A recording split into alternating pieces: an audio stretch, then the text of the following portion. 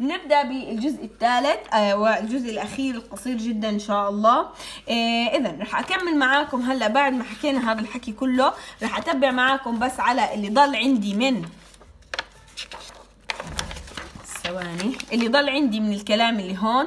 طبعا هون آه هون وصلنا. هلا بحكي لك إنه في طبعا factors أو عوامل بتتحكم بال size of zone of inhibition أو بتتحكم في قطر منطقة التثبيط أو منطقة اللي هي بتنشأ حول ال antibiotic في عندنا الأول شيء rate of diffusion of drug in the media أو ال concentration تبعه. طبعا مرات ال concentration تبع ال antibiotic بتحكم في مسافة أو مساحة ال zone قديش هي. Degree of susceptible of the organism. طبعا هذا أهم عامل إنه قديش هذا الدواء قادر على القضاء على ال antibiotic كمان number of organism inoculated in plate يعني كمية البكتيريا اللي ناميه عندك في ال plate مشان هيك إحنا بنستخدم ال inoculation أو نستخدم ال swab لأنها بتضمن لك إنه يكون في عندي كمية كتير كبيرة من ال من ال من ال يعني من ال microorganism نامي على ال plate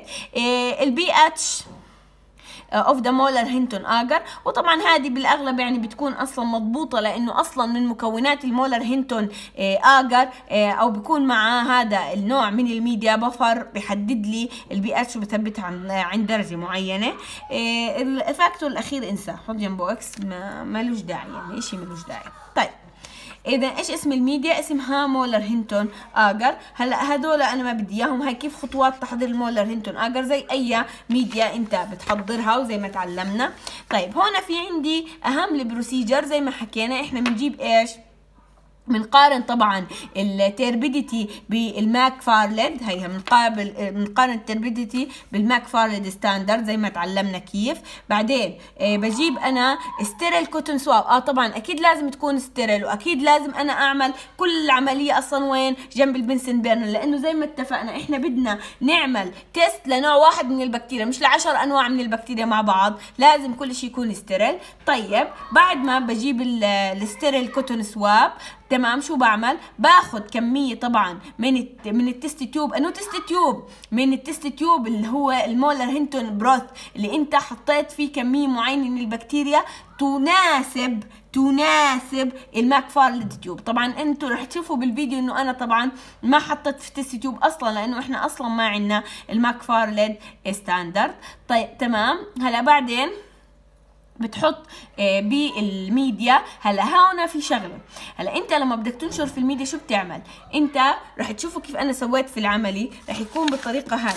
يعني رح نجيب هاي هاي ال plate تمام وهاي ال swab رح اعمل أنا ال swab بالطريقة هاي شوفوا كيف هيك هيك هيك هيك هيك هيك هيك هيك بعدين هيك هيك هيك هيك هيك هيك هيك هيك هيك خطوط متقاربه من بعض البعض مشان اتاكد انها البكتيريا وصلت جميع انحاء الميديا بعدين برد بمسك ال plate بشكل أو بشكل طولي هيك هيك هيك هيك هيك هيك هيك بعدين هيك هيك هيك هيك هيك هيك هيك. وبعدين حتى بمشي ال swab على إيش؟ على أطراف الميديا على جوانب ال plate على جوانب ال plate كامل. حتى أضمن إنها إنها البكتيريا وين موجودة على كل ال plate طبعا بعد هيك شو بسوي؟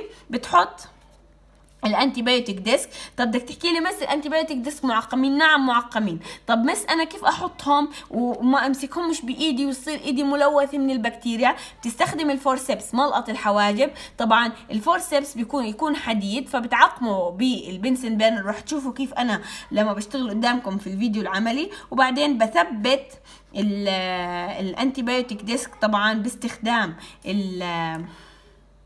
ال forceps وبسكر ال plate وبوديه على ال incubator لمدة 24 ساعة على 37 في ال incubator. وتاني يوم باجي إيش يا جماعة بعمل بقرأ ال result زي ما تعلمنا بقرأ ال result زي ما تعلمنا. هاي طبعا الكلام المكتوب هون باختصار شديد جدا. آه نيجي على النتيجة. طبعا زي ما أنتم شايفين ال result بتكون عندي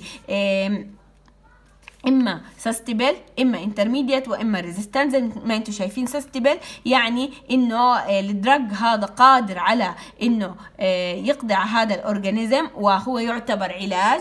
ال intermediate بيكون إنه ممكن يستجيب لهاي ال infection مثلا إذا اعطيته في higher dose إيش يعني higher dose يعني زدت جرعة الدواء أو زدت عدد مرات اللي أنا باخذ منها الدواء. ال resistant طبعا إنه هذا البكتيريا أو هذا ال antibiotic غير قادر على القضاء على هذا ال organism طبعا زي ما أنتم شايفين إحنا بنقيس ال diameter لل zone وبعدين وين بنروح يا جماعة؟ بنروح على الجداول. هذه طلعوا كم آه هذا في تقريبا بضم الجداول هذه كل أنواع ال antibiotic بتضم كل أنواع ال antibiotic المعروفة واللي بنستخدمها. هاي يا جماعة كان أهم شيء عن هذا ال lab. بتمنى إنه تكون المعلومة وصلتكم بطريقة سهلة وبسيطة وحلوة.